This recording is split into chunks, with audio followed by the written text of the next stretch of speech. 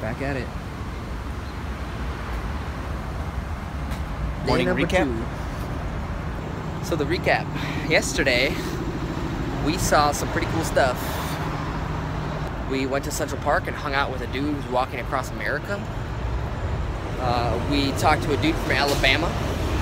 Got some good lunch at, at a taco stand. Met some people from Germany. And now I'm gonna get some coffee.